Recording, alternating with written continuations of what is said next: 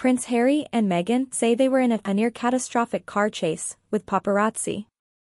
They were in New York City attending the Woman of Vision Awards, where Meghan was given an award at the annual Miss Foundation for Women Gala.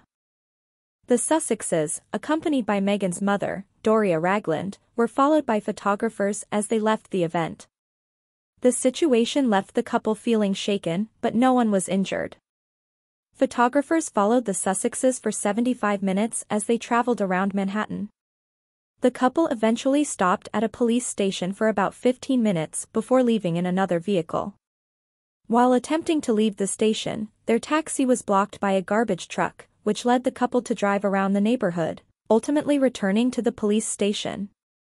The couple paid a $17.80 fare and left a $50 tip for the taxi driver. This incident has raised comparisons to Princess Diana's fatal 1997 car crash, which was caused by a high-speed chase with paparazzi. Thankfully, the Duke and Duchess of Sussex arrived at their destination safely.